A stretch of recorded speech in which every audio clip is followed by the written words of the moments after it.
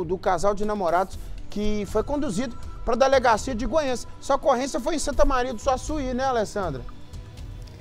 Exatamente, Nico. A polícia militar fazia o patrulhamento quando percebeu ali uma atitude suspeita por parte de um jovem. O rapaz estava encostado na janela e quando viu a presença dos militares, ele saiu correndo para o fundo da, da casa e tentou se livrar de algo. A polícia então viu que ele havia tentado jogar alguma coisa no terreno ao lado. A polícia então abordou o jovem e encontrou dentro da casa dele dezenas de pedras de crack e também buchas de maconha. No terreno onde esse jovem teria descartado o material, a polícia encontrou uma caixinha com mais de 100 pedras de crack.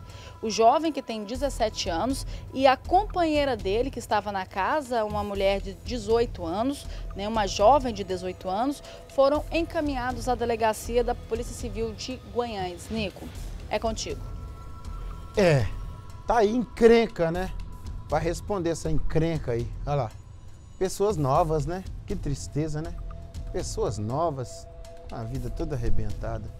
É aí, o que, que eu tenho com isso? É absolutamente nada, não tem nada com isso.